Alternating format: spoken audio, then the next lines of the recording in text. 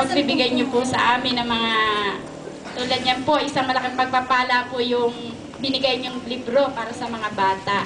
Maraming maraming po salamat. Talaga pong sabi ko nga doon sa asawa ko na po, thank you, thank you God. Sabi ko gano'n, salamat. Sabi ko merong nag-ano sa akin mga taong may mabubuting puso. Salamat po. Ah, ma'am. Anak, mamaya. Apo ko po ito. Apo ko na po yan. Ayan. Thank you, thank you po. Ano po? Ah, bilang pasasalamat po sa inyo, ah, inihandog ko po sa inyo ang isang ah, isang sabayang awit ng mga ba- ng mga bata. Okay kids, tayo kaya